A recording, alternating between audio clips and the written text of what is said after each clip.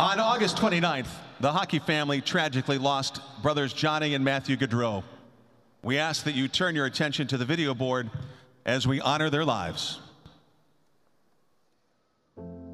Today, today, we honor the memories of Johnny and Matthew Gaudreau. Whether it was on the ice or in the community, if you were fortunate enough to cross paths with the Gaudreau brothers, you were better for it.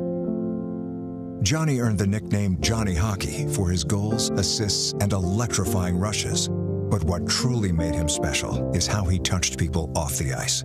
As a friend, teammate, husband, father, and brother.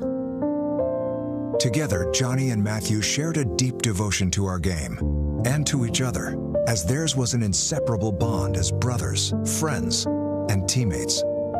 They proved time and again what matters most in the game of hockey and in life isn't measured by inches or pounds, but by character, heart, and passion.